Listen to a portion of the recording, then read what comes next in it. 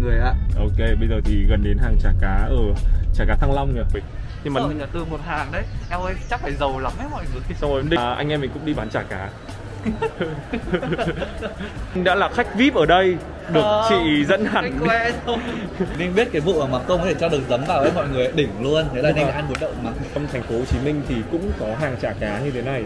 Nhưng mà để mà bảo rồi Khi mà chúng ta đến nhá là sẽ có một đĩa bún này Mắm tôm này Đấy, Đây là những cái mà ăn kèm với chả cá rất là ngon. Đấy, hot lắm. Thằng này này, thằng này Không, không. Nó hot lắm. Ờ, chờ gì là nóng sau đó thì sẽ xào chín cái cái cái hành này lên món này. Địa chỉ ở đây thì các bạn có thể đến 6B đường thành này hoặc là 19 này. Thì nó nằm giải rác khắp con phố. vụ cho này. Đấy khéo léo. khi được phục vụ à, bình thường. Đầu bếp. À không phải đầu bếp mà là nhân viên. Ui mọi người thấy khéo léo chưa luôn. Nó đang giòn nóng luôn. Đấy mọi người chấm với cả nước mắm. Chơi lại tiktok rồi. Ờ. ninh đang lên plan để chơi lại tiktok. Thế à? Mình cắn sâu sâu vào xong này tại vì là nó vẫn bị ờ, bị canh cá nữa cơ. Ở canh cá cũng ngon đấy. Để em em quay cận cho. Thêm cái hương vị thì mọi người chắt cái dầu cá ra ngoài này. Đây cái thì nó sẽ chín được luôn cái mắm tôm ấy mọi người. Ờ, thì bạn nào mà yếu bụng thì bún trước bún trước.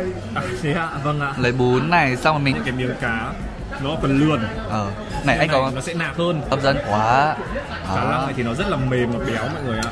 Lạc. Lạc ok một ít lạc này. Đấy, xong rồi mắm tôm.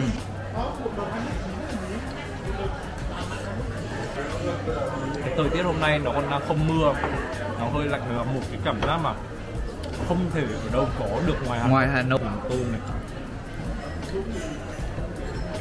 Tới mọi người mấy đợt trước nó mưa nó nồm cơ đây đang mùa nồm này mọi người điều nhá. Là đi quay với thằng này này.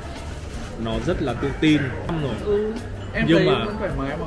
ở chỗ nào mà kiểu không có người cơ ông vẫn nói ông hoang lên ông giới thiệu nhá thứ. Thật ra các bạn mà kéo đến cái thời điểm đấy như là ở bây- giờ 3 năm rồi thì cũng quen rồi. Do mình đúng không? Chứ không phải là do người ta đúng không? Đấy do vợ chồng mình không tự tin thôi. Đi quay về. Nhưng mà đấy vẫn rủ mình đi ăn các thứ. No quá nhưng mà anh vẫn phải công nhận một điều. Là em nói to em nói to vãi Rồi thì sẽ đi bộ đi dạo một chút để ờ, cho nó tiêu khô ráo chuẩn luôn. Đúng là mình phố Phan Thiết này thì là một con số phố bán rất là nhiều những cái đồ nó bằng thiếc. Cái khuôn này đấy tất cả những cái đồ. Đây các bạn có thể nhìn thấy này. Bây giờ chúng mình đang định ra bắt đàn mọi người ạ để ăn chè bà thìn. Chúng ta đang có mặt tại hàng xôi chè bà tín ố gỡ mất điểm rồi sen từ chân trâu ờ. Ờ không có chân trâu sen rửa thạch. Sen dừa sen dừa thạch cái này là nước đường hoa nhài với cả dừa dừa tươi. Cái này rất về tự thái cảm giác thái thì nước đường ở đây có cả hoa nhài thế để con chụp với cô. Đấy ninh thị dâu đây đây đưa đây này. Dạ vâng anh. Ừ, xem. Đấy biết cả dừa hấu đây. Biết cả dừa hối chưa? Ờ. Vâng cảm ơn cô này tự nhiên anh còn thì thì lại là anh kiên rồi. Không ở sài gòn ai biết anh là ai đâu.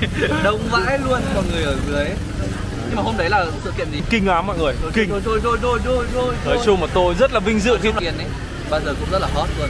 Nhở toàn trên triệu view luôn clip nào. Không hẳn đi ăn mà quay cùng ấy và hợp rất là quan trọng mọi người ạ. Đó. không đi không có gì ăn à? À thế à? Bà ở gần đây không bà? Chanh bà cứ ăn xong đi bà cứ ăn xong đi. Rồi còn lấy hai cân chanh cho bà. Thế à thế bà nuôi mình được bà nuôi ba đứa một cô à giảm mất rồi à? Giảm mất rồi à? Thế thì con không lấy con con chỉ lấy một mét thôi. Ninh muốn lắm đấy nhưng mà Ninh không dùng đến ấy. Ninh lấy chanh không? một hai cái túi ở trong bà cứ để ở trong đấy nhá. Vâng thế con gì con chia cho mọi người. Đấy, nó quá cân đấy bà. Là bao nhiêu ạ? Con con con biếu bà. Con biếu bà. Đấy bà cho con xin mấy cái thập tiêu luôn bà nhỉ vâng bà dự quan tâm gì nhưng mà cứ lời nói câu chuyện tất nhiên vui vui của hai anh em mình thôi tại vì là lâu lắm mới uh, gặp nhau ở Hà Nội. Ninh để cho các bạn follow kênh của Ninh nhất đấy Ninh nổi tiếng đấy. Thôi Đấy. đi Cho mọi người ở Hà Nội khác thì chắc chắn là sẽ thú vị. Ừ. Nên là hẹn anh tháng 5 nhá